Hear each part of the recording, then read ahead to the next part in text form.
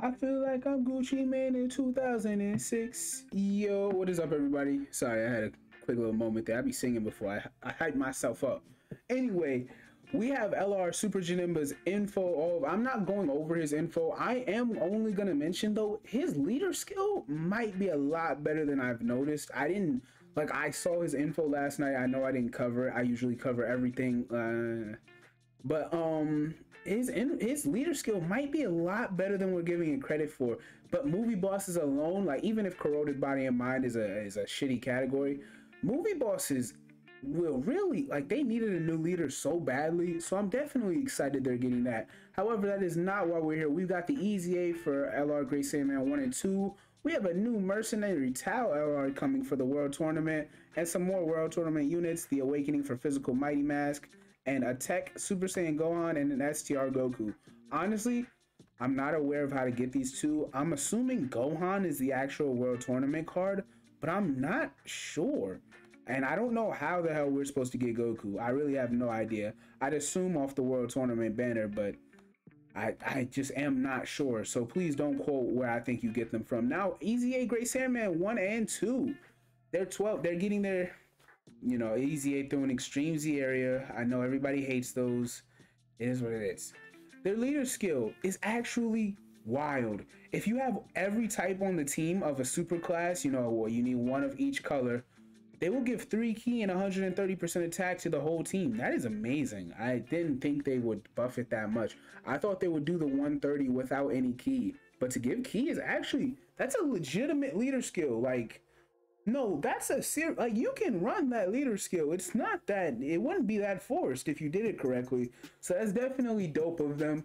But then for their 12 ki super attack, they raise attack and defense for one turn, cause colossal damage and seal super attack. They always were very useful because they sealed. Their 18 ki raises attack and defense for one turn, and they still give super class allies attack 30% for two turns all they all a lot of units that are easying now need is to raise defense on super attack. So that's really good. They're doing like a lot of stuff through their super attacks. They were always like that though. Passive skill, attack and defense 70% at the start of turn. They give superclass allies still it's 4 ki and 40 and 50% of uh, defense. I was hoping they'd bump it to 70. I really did think they would it, it's not bad. Like 4 ki and 50 is still valid. It's just they could never defend themselves the way they were helping allies defend themselves. So, I mean, it, it should be all right now. So we'll, it's more tolerable because, you know, they're not going to get cra- clacked on the back end, like from third slot attacks. Gain an additional attack at 58% and perform an additional attack that has a medium chance of becoming a super attack when facing an extreme class enemy. And extreme class enemies that irrelevant defense minus 70% that debuff. But yeah, they're actually really good. I like them a lot. I do. I do. I think they're a really good card. Now, or at least a really good EZA now. Like I said, Extreme Z area. Now, LR Mercenary Tao he's a really weird unit. I did skim over him before I started the video. LR STR Tao, leader skill, Dragon Ball Saga 4. I'm assuming this is Boyhood Saga because I know that's how they are.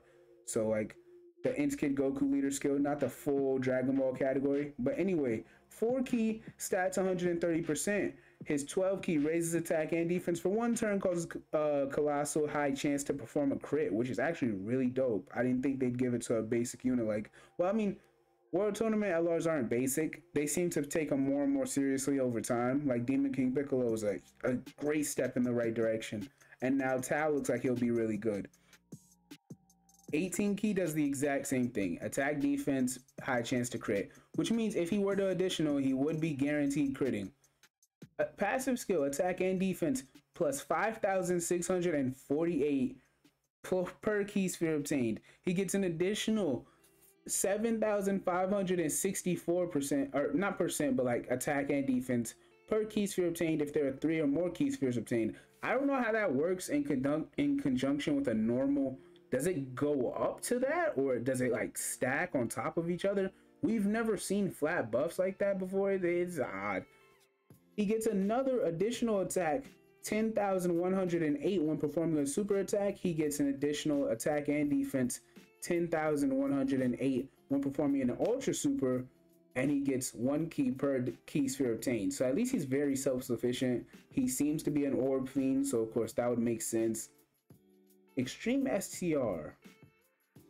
Let's look at his link set before I look at his active skill. Crane School, Supreme Warrior, Brutal Beatdown, Coward, Dodon Ray, Shattering the Limit, and Legendary Power. My goodness, his link set is, it's actually hard to look at. So Brutal Beatdown, Shattering the Limit, and Legendary Power are basically his only links. Don't even worry about the rest of it. Coward? I don't know that I'd call Tao coward. I mean, he was always with the smoke. I mean, that man was with the shits. I don't know if I'd ever call him a coward. I, maybe you could trade that out for like shocking speed. Tao's fast. Maybe you could trade it out for shocking speed if you don't want to force that. At least trade it out for like nightmare. I mean, he he really scared hella people across the globe. I mean, this, we're talking about a legendary assassin here. We're not talking about some normal boss that Goku ran into. Like the man had Goku basically had a bounty on his head, and Tao came to collect. Like this is not this is not some guy. Tao was really that dude back then, but whatever, I guess. Anyway, back to his active skill, Eva, Evil's Futile Resistance. Uh, able to be activated once this character has received three or more attacks during the battle and the HP is below 50%. That seems like it's really not that difficult to do because I mean, if you're taking the attacks in the first place, you're probably gonna end up getting below the 50%. I don't have a problem with his active skill. I'm assuming it's a normal attack active, active skill a la LR SSJ4s, a la the GT Super Saiyan units that, uh, from a couple months ago. Temporarily massively raises attack, causes ultimate damage, and stuns for one turn. I haven't seen any of his animations, by the way. Only thing I've seen is this hair whipping gif on the right side of my screen for the last two minutes. but yeah, so I mean, I'd assume with his LR stats, he's going to hit hard. Of course, he like he massively raises attack, ultimate damage, and it, it would be a guaranteed stun. So in SBR, that'd probably be useful because, like I said, I don't think his active skill is hard to get, but we'll have to see. Link, because three attacks is nothing. You can get three attacks turn one. So uh, turn two, if you or turn three, I should say, when he comes back around, if you really took enough damage, it'll be there. So yeah, I don't think this is a, a problem at all. Link set, Crane. Oh no, we went over that already. They're terrible. Categories: Dragon Ball Seekers. Dragon. That is good though. They always need the help, especially with like the free to play LRs. It's still probably the best free to play roster in the game, so that's good to see. Dragon Ball Saga, Siblings Bond, Target Goku, and Earthlings. Um, Siblings Bond. I don't have a problem. Like it makes sense why he's there because him and Shen, but it's not at his his spot there is definitely hard to get because to- Mina, Minotia and Tapion are so unique. if I were to be nice about it, so I don't know what to call them. Dragon Ball Saga, eh, I mean, there's probably gonna be other t- Taos on there you can use them with, like the Tech one that awakened a couple years ago. He's actually not trash, but I mean, eh. Uh, Target Goku no one runs that team. So, and then Earthling, I mean, I guess that'll be good. That's not the worst thing. Earthling's always going to be one of those side categories, so it's good that he's there. I don't want to waste too much more time on him. Physical Mighty Mask is awakening. Leader skill does not matter. Super attack. The final cannon greatly raises attack and defense for one turn, causes supreme damage to the enemy. That's all right. Nothing wrong with that. That's all some units need. Passive skill, inexplicable rhythm. Uh, that's smooth. I like that. Attack and defense 150% at the start of turn. That's a decent, I mean, you know, free to play stats, but that's a really good attack buff. Uh, gain an additional attack and defense 150% when there's one enemy. They evade all attacks when HP is 50% or below once only. And once the effect has been activated, gain a high chance to dodge enemy attacks in the following turns where HP is 50% below. So basically, the first turn, it's guaranteed to be a dodge when you're below at 50% and every turn after that, it's a half chance to jo- to dodge. Oh my goodness, words. I'm sorry, I'm trying to like say too much at once. I guess I'm dripping. But yeah, after the guaranteed dodge turn, if you're below 50% again, you will have a 50% chance to dodge, if that makes sense. I hope that does. And then evade all enemy attacks when HP is 30% or below. Oh, okay. So basically if you get anywhere between 30 and 50% you'll have a guaranteed turn and then if you get fully below 30% you'll have another guaranteed turn. I would assume if you initially got below 30% it would activate the 50% one too so you'd only have one guaranteed dodge turn instead of two. But that's the i mean don't get me wrong this is trash like in actual utility but the concept isn't the worst. I mean uh, if that makes sense i hope it does i hope it does but yeah, Link said the innocents flee more than meets the eye. World Tournament Reborn. I hate that link. I've literally hated that link since like Dokkan was young. Uh, Super Saiyan Shocking Speed Shattering the Limit. Eh. Categories World Tournament and Buu Saga. Why are they not on Super Saiyan? Why are they not on Youth? Why are they not on um Prodigal Warriors? Why are they not on Hybrid Saiyans? What? Was he always like this? Mighty Mask, Mighty Mask. Hold up. I, I know I'm not supposed to do this like mid video, but work with me. Why does that, that doesn't make sense. Physical. Why would they do, that doesn't make any, that doesn't make any sense though. That, yo, this game is so, because, and I don't want to hear anything because Great Saiyaman, who is supposed to be Gohan's alter ego, has all of Gohan's categories. If a Great Saiyaman unit did the Kamehameha, he'd have every normal Gohan um, ca category. So it's like, why? That doesn't make any sense, bro. That doesn't make sense. They just withheld them from like what could have been a good four or five categories. Anyway, STR Goku, who's also dropping, like I said, I'm assuming he's a World Tournament banner unit. We'll see. Leader skills are relevant. Super attack, supreme damage, medium chance to stun. Passive skill, attack and defense 159% at the start of turn. He launches two additional attacks that have a medium, each of which have a medium chance to become a super attack. Okay. He gets an additional attack and defense 5% per attack performed up to 59%. That's not the worst. I mean, you'll get it quicker than you think. And then he has a medium chance to crit. Oh, so he has two additionals that can become supers and he has his crit. Oh, this guy's actually oh, now we, we keep seeing these units raise attack and defense. If he raised defense for one turn on super, he'd be crazy low key. We'll have to see how he is in action. Link set only family, Saiyan lineage, turtle school, infighter, shocking speed, incredible adventure. Categories: World Tournament, um, low class warrior, pure Saiyans, Goku's family, and turtle school.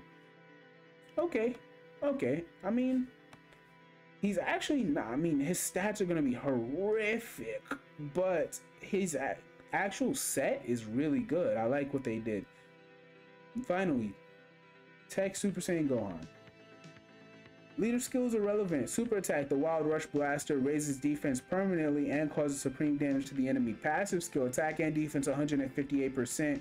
At the start of turn, reduces damage received by 30% if there is a one enemy. He gets an additional attack and defense 58% if there's another Goku's family category ally on the team. Wow. Okay. So raises defense permanently, which means along with that mitigation and long events, he'll probably be really good. I would assume. I would assume. And then on Goku's family team, his buffs are gonna be over 200%. Uh, yeah, he seems like he'll be t- at 215%, 16% attack and defense. Uh, yeah, yeah, I think I, I think I like that. He seems like he's really good. I mean, yeah, I don't have any gripes with him. I, there's no, I, I, he's really simple. He's not gonna put up crazy attack. His defense will be good enough, sort somewhat like high school Gohan. Like his defense will be enough, but of course he's stacking defense permanently. So longer events, he'll be better off Link said, even though it's not as big of a mitigation as High School Gohan, Link said, Saiyan Warrior Race, Golden Warrior, all the family, Super Saiyan, Z Fighters, Gaze of Respect, and then categories of Hybrid Saiyan, Goku Family, Youth, Super Saiyan, Android slash Cell Saga, because it's the Gohan. I believe this is the episode where he met Mercenary Tao, and Mercenary Tao was like, "Yo, you, yo, you look like that one dude. You look like your pops." you're your dad's son, aren't you? so Tao ran off. But um yeah, this is from that filler episode. Bond of Master and Disciple, Rapid Growth, and Heavenly Events. Okay. Yeah, that wow. This is one of the longer videos I've recorded, and it's only for the World Tournament. I, I didn't even cover Janemba, and Janemba's info Janemba seems to be getting overrated or uh, overlooked. I people seem to be upset with what Janemba is. I like Janemba. I think he's all right. His art, yo, son, you guys got to see his art in motion. He has the best LR set, like the the effect where it's like tra- the transition on the LR. He has the best one in the game. I've never seen them put that much effort into changing it. It it's so cold. Y'all gotta see it, man. Y'all gotta see it. His LR transition is tough, but I love his art. I didn't like it at first, but when I saw what it actually does in animation, it's so cold, bro. It's so cold. But yeah, I'm gonna leave it at that. Oh, his super attack effects are garbage, by the way. I do want to state that too. I don't know why they only give Jim th those effects. Like he doesn't need to raise defense, but like if he massively raised attack for one turn, if he had a medium chance to stun on 12 ki, if he uh I don't know. If they gave him that freaking high chance to crit on his 18 ki that they gave him on those super attacks when he's enraged, oh he'd be insane. But yeah, I'll leave it at that. By the way, Janemba used to give himself one ki last night when he initially dropped her super attack done in slot two or three. They buffed it to two keys, so you'll get it a lot faster. I like that a lot. And of course, six keys, 66%, you know, all the, uh, I guess, symbolic references it's supposed to make because, you know, who, what Janemba embodies. So I'll leave it at that. Hope you guys enjoy. Consider liking and subscribing. This is a long video. I know some of y'all don't want to hear my voice that much, so I'll end it here. Hitman is out. Have a good one.